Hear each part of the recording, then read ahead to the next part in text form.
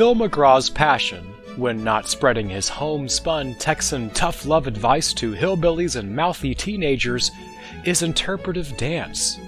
His love of the expressive craft goes back to the 1980s, where he attended many movie matinees, enthralled by classics such as Flashdance, Footloose, and Dirty Dancing, the latter being his favorite.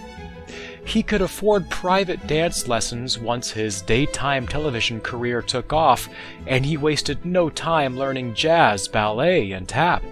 He even had a ballet barre installed in his dressing room, and those passing by were often amazed at both Phil's flexibility and his slack's resilient and brawny inseam.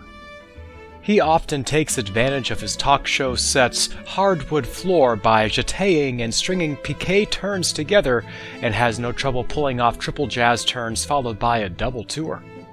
While he is unable to share his talent at Gene Simmons' cocktail parties due to the canned tuna incident, he is planning on rebooting the Patrick Swayze classic Roadhouse into a fully realized movie musical.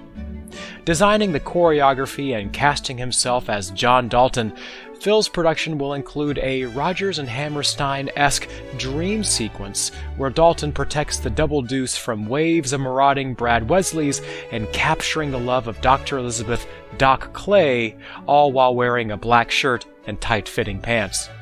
Rehearsals are already underway at the North Hollywood Debbie Reynolds Dance Studio, and taping is set to begin this fall.